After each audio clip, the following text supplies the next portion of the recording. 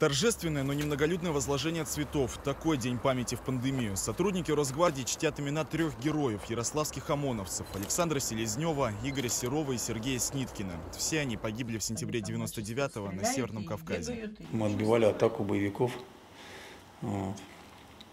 Самое главное, что мы не дали им пройти и зайти к нам в тыл. Выстояли, выдержали, соответственно, ценой жизни. И Сергея Сниткина, он был вторым номером пулемета. Первым номером был Александр Селезнев из села Тунышна Ярославской области. До войны он служил в пограничных войсках. Это вот он в армии, это, в, в Рыбалах, в Карелии. Вернувшись из армии, занимал руководящие должности в милиции, ездил в командировки в горячие точки. О пережитом не рассказывал даже родителям. Эти кадры мы снимаем 30 ноября в городе Мрон. На полном садик детства.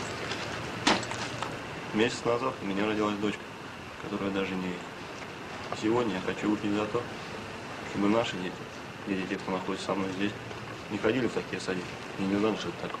Из третьей поездки уже в Дагестан Селезнев не вернулся. И эту командировку вообще-то он и не должен был ехать, потому что он уже поступил в школу милиции. Он был зачислен уже в Московскую школу милиции, должен был ехать на учебу.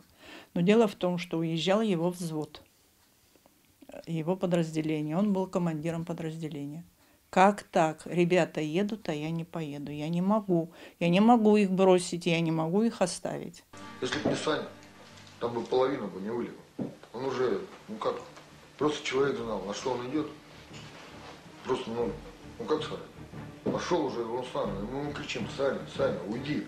Все, выстрелили, ну уйди ты. Уходил как с ПК, он так от руки стрелял. Там головы-то поднять невозможно а он уже все. Потом перезаряжал и опять. Перезаряжал обратно. Сохранение исторической памяти о таких событиях и личностях – долг каждого поколения. С обращением к жителям области выступил губернатор Дмитрий Миронов.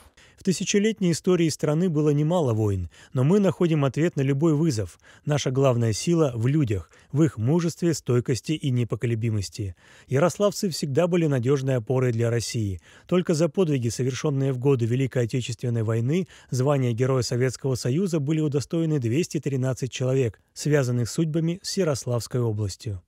Наш долг чтить и помнить наших героев, но важно гордиться и нашими современниками, теми, кто с честью несет службу, приходит на помощь другим в сложной ситуации, борется за жизни. Уважение к таким людям, восхищение их поступкам должны связать разные поколения. Память о героях Отечества остается навсегда. В этот день мы благодарим тех, кто совершил подвиг во имя нашей Родины. Иван Савинов и Алена Стецук, Константин Дмитриев. День в событиях.